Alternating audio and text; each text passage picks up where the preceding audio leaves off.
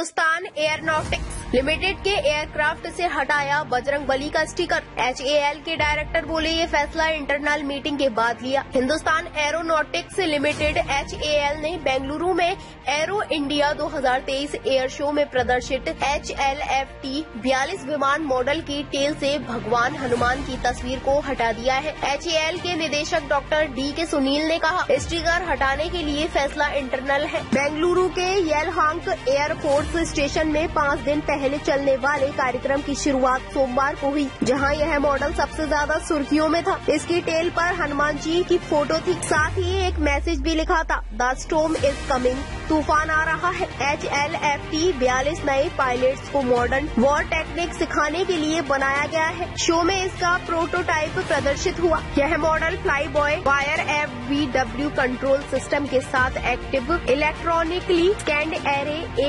S A electronically warfare E W suite infrared search and track I R S T जैसी avionic सुविधाओं से lace होगा।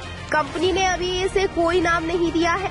H A L T बयालीस aircraft वर्तमान trainer aircraft Hawk I one thirty two subsonic trainer और MiG 21 के बीच के gap को कम करेगा। यह एयरक्राफ्ट डबल इंजन वाला नेक्सच जेन सुपरसोनिक ट्रेनर है। Aircraft active electronically scanned array electric warfare, suite, infrared, search and track और fly by wire control system से लैस है।